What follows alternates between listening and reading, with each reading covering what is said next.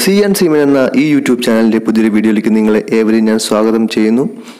ഇന്നത്തെ വീഡിയോയിൽ നമ്മൾ ഒരു പതിനാലായിരം കണ്ടെയ്നർ വഹിക്കാൻ ശേഷിയുള്ള ഒരു കപ്പലിന്റെ എഞ്ചിൻ റൂം വിസിറ്റാണ് നമ്മൾ പ്ലാൻ ചെയ്തിരിക്കുന്നത്. അപ്പോൾ അധികം വൈകിപ്പിക്കുന്നില്ല നമ്മൾ വീഡിയോയിലേക്ക് കിടക്കുകയാണ്. ഇതാണ് ഒരു എഞ്ചിൻ റൂമിന്റെ എൻട്രൻസ് ഡോറാണ് നിങ്ങൾ ഈ കാണുന്നത്.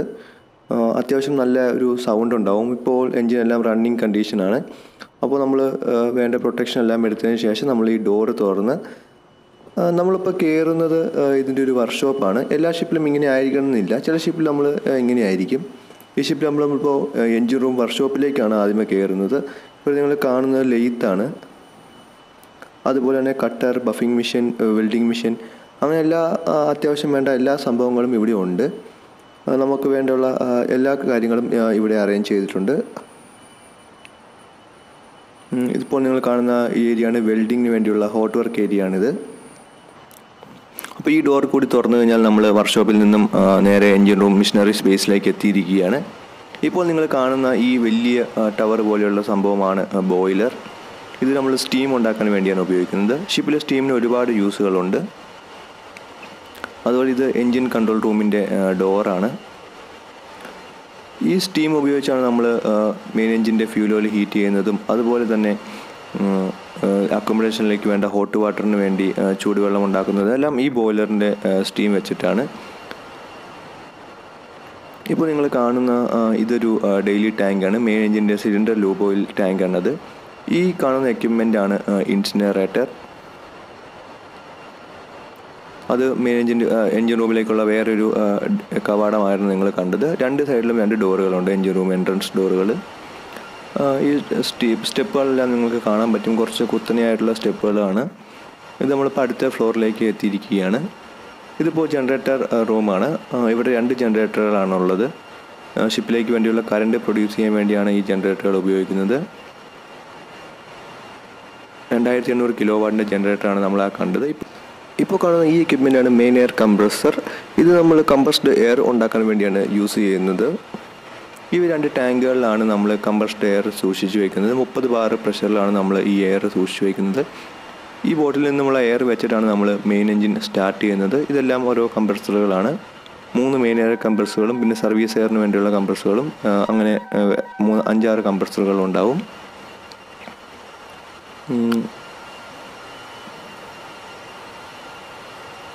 അത്യാവശ്യം നല്ല സൈസുള്ള ഒരു ജനറേറ്ററാണ് ഈ ഷിപ്പിലുള്ളത് കണ്ടെയ്നർ ഷിപ്പായ കണ്ടെയ്നർ ഷിപ്പുകളിൽ മോസ്റ്റ്ലി ജനറേറ്റർ കുറച്ച് വലിയ ജനറേറ്ററുകളായിരിക്കും ആ കാണുന്ന രണ്ട് പമ്പുകൾ മെയിൻ എഞ്ചിൻ ജാക്കറ്റ് പമ്പാണ് ഈ കാണുന്ന എക്യുപ്മെന്റാണ് ഫ്രഷ് വാട്ടർ ജനറേറ്റർ നമ്മൾക്ക് കുടിക്കാൻ വേണ്ടിയുള്ള വെള്ളം പ്രൊഡ്യൂസ് ചെയ്യുന്നത് ഈ എക്യുപ്മെന്റ് വെച്ചാണ് നമ്മൾ വെള്ളം പ്രൊഡ്യൂസ് ചെയ്യുന്നത്. ഇതെല്ലാം സ്പെയർ ആണ് മെയിൻ എഞ്ചിന്റെ സ്പെയറുകളാണ്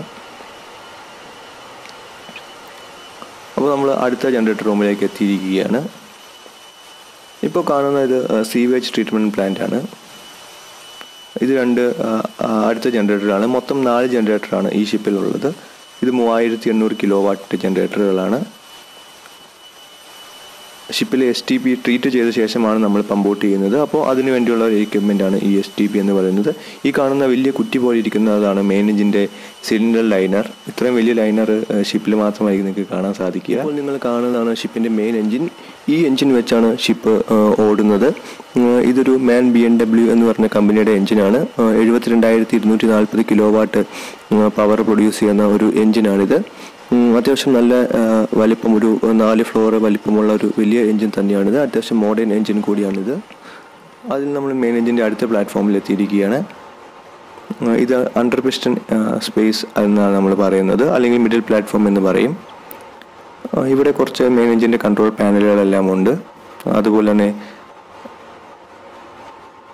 എമർജൻസി സ്റ്റാർട്ടിന് വേണ്ടിയുള്ള പാനലുകളെല്ലാം ഈ പ്ലാറ്റ്ഫോമിലാണ് നോർമലി ഉണ്ടാവുക എല്ലാ ഷിപ്പുകളിലും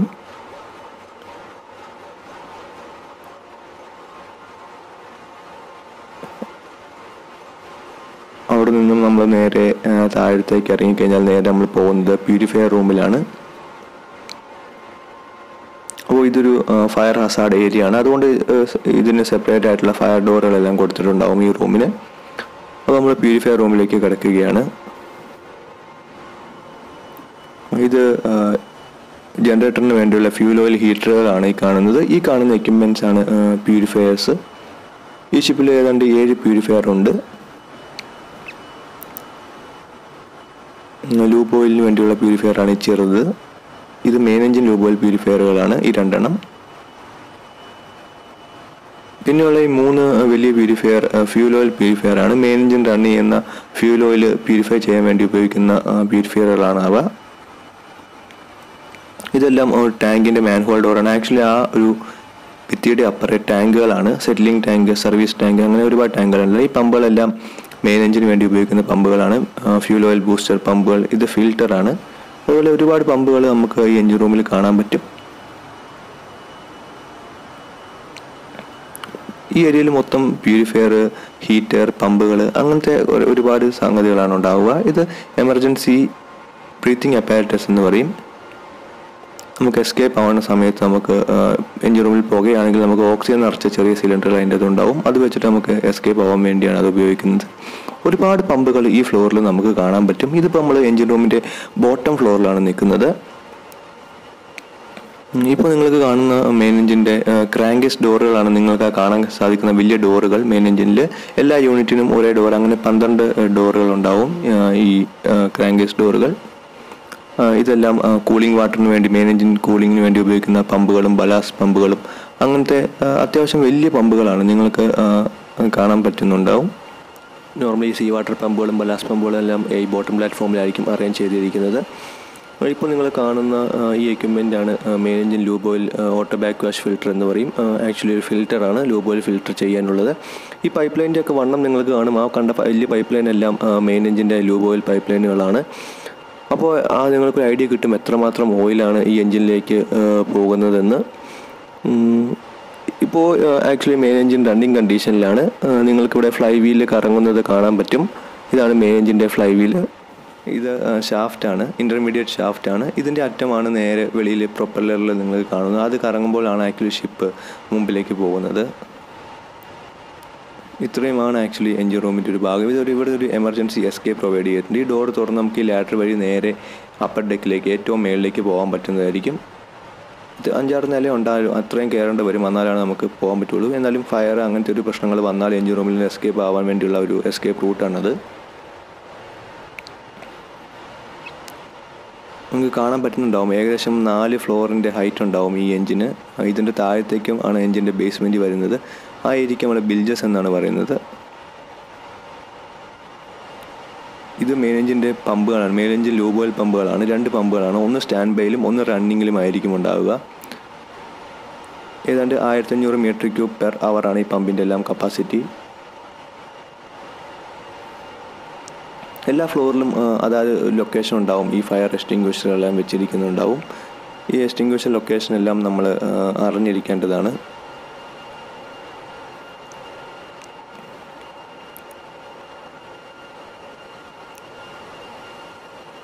അതുപോലെ ഫയർ ഹൈഡ്രന്റുകൾ ഇതെല്ലാം ഈ ഷിപ്പിലെല്ലാം എല്ലാ ഷിപ്പുകളിലും പ്രൊവൈഡ് ചെയ്തിട്ടുണ്ടാവും. ഇപ്പോൾ നമ്മൾ നേരെ ഇതെല്ലാം നിങ്ങൾ കാണുന്നൊക്കെ ഫയർ ഹൈഡ്രന്റും ഫയർ വന്നാൽ ഇൻഫോം ചെയ്യാനുള്ള സ്വിച്ചുകളെല്ലാമാണ്. ഇത് കൂളറാണ് പ്ലേറ്റ് ടൈപ്പ് കൂളേഴ്സാണ് ഇതെല്ലാം. ഭയങ്കര നല്ല സൈസാണ് ഇപ്പോൾ നമ്മൾ ഈ വീഡിയോയിൽ കാണുമ്പോൾ അത്രയും മനസ്സിലാവില്ല. അത്യാവശ്യം നല്ല സൈസുകളുള്ള വലിയ കൂളറുകളാണിത് ഈ ഷിപ്പിൽ സെൻട്രൽ കൂളിംഗ് സിസ്റ്റമാണ് ഉപയോഗിക്കുന്നത്. അതുകൊണ്ട് എല്ലാ എവിടെയൊക്കെ കൂൾ ചെയ്യുന്നോ അതെല്ലാം ഇതിലാണ് കൂൾ ചെയ്യുന്നത്. അതുപോലെ തന്നെ ഇത് ലൂബ് ഓയിൽ മെയിൻ എഞ്ചിന്റെ ലൂബ് ഓയിൽ കൂൾ ചെയ്യാൻ വേണ്ടിയുള്ള ഒരു കൂളറാണ് അങ്ങനെ മൊത്തം നാല് കൂളറാണ് ഈ കൂളർ റൂമിൽ ഉണ്ടാവുക. ഇത് മെയിൻ എഞ്ചിന്റെ ഓക്സിലറി ബ്ലോവറാണ് മെയിൻ എഞ്ചിൻ ചെറിയ സ്പീഡിൽ റൺ ചെയ്യുമ്പോൾ ടർബോ ചാർജർ വെച്ചുള്ള എയർ മതിയാവില്ല. ആ സമയത്ത് നമ്മൾ ഉപയോഗിക്കുന്നതാണ് ഈ ഇത്. ഇപ്പോൾ കാണുന്ന ഈ എക്യുപ്മെന്റാണ് ടർബോ ചാർജറുകൾ എന്ന് പറയുന്നത്. നമ്മൾ അവിടെ നിന്നും വീണ്ടും ജനറേറ്റർ റൂമിലാണ് എത്തിയിരിക്കുന്നത്. ഇവിടെ നമ്മൾ നേരെ മേളിലേക്ക് കയറി പോവുകയാണ്. സ്റ്റെപ്പ് സ്റ്റെപ്പൊക്കെ നിങ്ങൾക്ക് കാണാൻ പറ്റും. അത്യാവശ്യം നല്ല കുത്തനെയുള്ള ലാഡറുകളാണ്. ഈ സ്റ്റെപ്പൊക്കെ ഒരു നമ്മളൊരു പത്തിരുപത് പ്രാവശ്യമെങ്കിലും മിനിമം താഴത്തേക്ക് കയറി ഇറങ്ങുകയൊക്കെ ചെയ്യും. അതെല്ലാം നമുക്ക് ശീലാവും. അതൊന്നും വലിയ പ്രശ്നമില്ല. പിന്നെ ഓരോ വാൽവുകളെല്ലാമാണ് നമ്മൾ ഈ കാണുന്നതൊക്കെ. ഇവിടെ നിന്ന് നമ്മൾ നേരെ കൺട്രോൾ റൂമിലേക്കാണ് പോകുന്നത്. കൺട്രോൾ റൂമാണ് ഇവിടെ നിന്ന് നമുക്ക് എല്ലാ പമ്പുകളും താഴെ കണ്ട പമ്പുകളും ജനറേറ്റർ വരെ സ്റ്റാർട്ടാക്കാനുള്ള സെറ്റപ്പുകളുണ്ട് ഈ കാണുന്നെല്ലാം സ്വിച്ച് ബോർഡുകളാണ് ഈ കാണുന്നത്. സ്വിച്ച് ബോർഡുകളെല്ലാം നിങ്ങൾ കാണും. ജനറേറ്ററിന്റെ ജനറേറ്ററെല്ലാം നമുക്ക് വേണമെങ്കിൽ ഇവിടുന്ന് സ്റ്റാർട്ടാക്കാം സ്റ്റോപ്പ് ആക്കാം. അങ്ങനെയെല്ലാം നമുക്ക് ഈ പാനലുകളിൽ നിന്നും പറ്റുന്നതാണ്.